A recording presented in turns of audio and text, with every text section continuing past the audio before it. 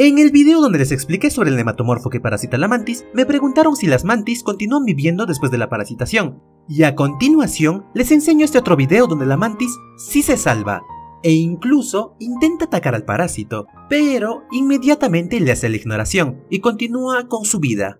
A veces el parásito compromete la vida de su hospedador y otras, como en el caso de este video, no. Fin.